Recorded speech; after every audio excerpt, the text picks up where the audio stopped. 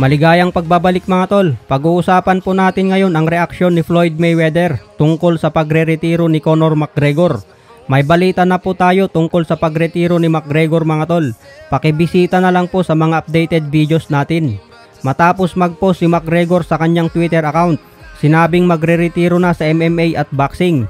Nagbigay naman kaagad si Floyd Mayweather ng reaksyon. Nag-post ito sa kanyang Instagram. Ito po ang sinabi niya mga tol. If I'm not mistaken, didn't you tell Mike Tyson you could beat me if we fought a second time? Now you're quitting. I thought you wanted to beat me the best. Well, if you decide to come back, I will be waiting to punish you again. Ibabalik ko lang po ang kwento tungkol dyan sa sinabi ni Floyd Mayweather. Ayon sa nakasulat, binabalik ni Floyd Mayweather ang sinabi dati ni Mike Tyson tungkol kay McGregor. Sinabi niyang isang nakakabilib daw ang performance ni Conor McGregor laban kay Floyd Mayweather dahil umabot si Conor McGregor hanggang 10 rounds bago tuluyang matapos ang laban. Hindi daw madali ang pumasok sa boxing na walang experience. Iba pa rin ang laban sa MMA.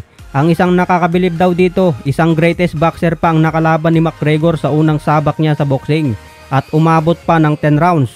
Kung si Mike Tyson daw ang lumaban sa isang baguhan sa boxing, siguradong tatapusin daw niya agad ang laban dahil mapapahiya lang daw si Mike Tyson kung magtatagal pa ang bakbakan laban sa isang baguhan. Pero si McGregor nagawa niyang tumagal ng 10 rounds. Nagreply dati si Conor McGregor, nagpapasalamat ito kay Mike Tyson. Nangako si McGregor na tatalunin na niya si Floyd Mayweather sa pangalawang pagkakataon. Alam na daw niya kung paano talunin ang style ni Floyd Mayweather. Kaya nagparinig si Floyd Mayweather. Akala daw niya maglalaban pa sila ni Conor McGregor dahil sinabing mananalo na daw si McGregor sa rematch. Pero bakit biglang nagretiro na? Pero maghihintay pa rin daw si Floyd Mayweather sa pagbabalik ni Conor McGregor para pahirapan niya ulit sa pangalawang pagkakataon. Yung sinabing magretiro si Conor McGregor mga tol, posibleng babalik din yan kahit anong oras. Nagpapainit lang yan para hindi mawala sa media at laging pag-uusapan.